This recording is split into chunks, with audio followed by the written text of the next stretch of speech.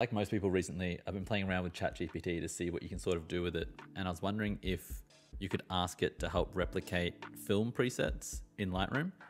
So I'll show you what I sort of asked ChatGPT. I tried a few times and sometimes it gives you a weird answer. So I just kept the ones that actually gave me decent results. So I asked the first time, please give me the exact Lightroom values for an Agfa Optima 200 film editing style. It gives you a little disclaimer saying that it's no one size fits all, blah, blah, blah. And then it comes down and says, here are some specific values that you can use as a starting point, which is great, but it doesn't give you a whole lot of detail. So I went and asked, what about the HSL values, the hue, saturation, and luminance values? And then it gave me quite a lot of information. And then I asked again, what about split toning?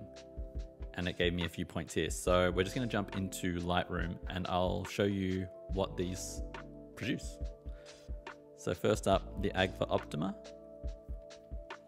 I'll probably speed through this just because it'll take a while.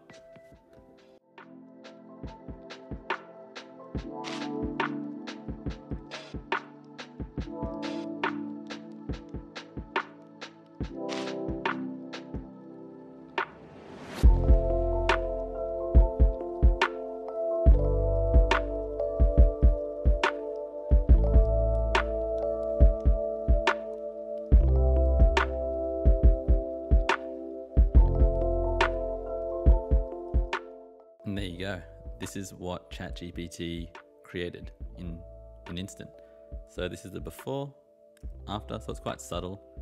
But those of you that know what Agfa Optima looks like, it looks quite similar. Obviously it's a good starting point. You can adjust it with the tone curve or a few of the exposure sliders if you need to. But I think just looking at this, it does definitely have that film vibe.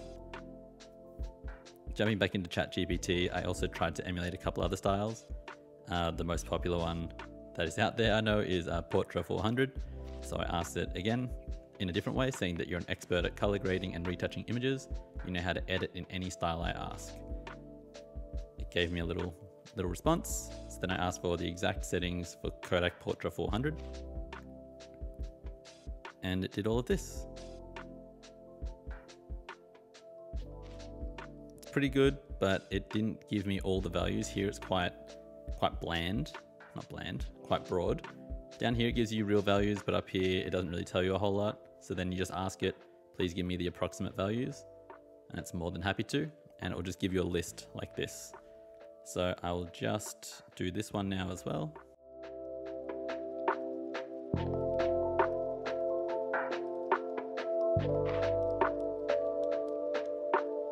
So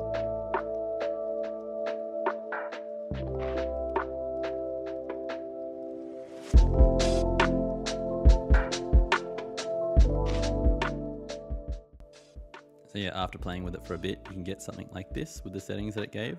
I tweaked a few things here and there. And yeah, before, after. I've tried a few other ones like Ilford HP5, which did pretty well. I won't take you through all the steps. Um, it basically just says desaturate your image, uh, sharp, add a sharpening filter, add some film grain, and then just a standard S-curve. That looks like this. So you see the before and after. You can see how it makes it look quite old. Give that Ilford vibe.